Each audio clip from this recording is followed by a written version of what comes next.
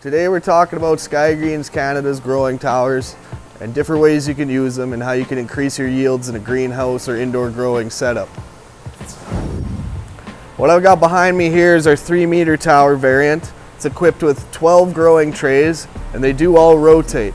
So what that means is as they come down, they'll get uh, fed with water, nutrient with our automated watering system and you're able to bring trays down to you for harvesting, planting, trimming, or whatever. So as you grow up, you don't need to go up. Right now we've got parsley growing in this tower. We've got it uh, planted at a three inch spacing in each tray. So that gives us just over 1,700 plants in a 60 square foot footprint. Along with our three meter towers, we also offer a six and a nine meter tower too. Now let me tell you what that means.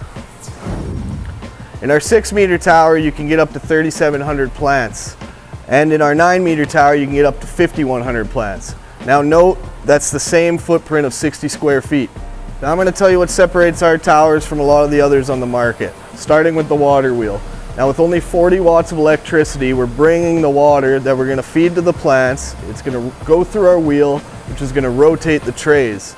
And that's gonna help with even lighting and even airflow throughout the system. Now these towers are great for growing stuff like parsley, you know, any kind of herbs, microgreens, you know, fruits like strawberries and stuff like that as well. But you can also customize the towers. And here's an example. We, we're growing fodder for animal feed here. We got a different watering system for it. Now, if you're interested in upgrading your greenhouse or you're starting a new one and you want some cutting edge technology, contact us at skygreenscanada.ca and we'll get you set up.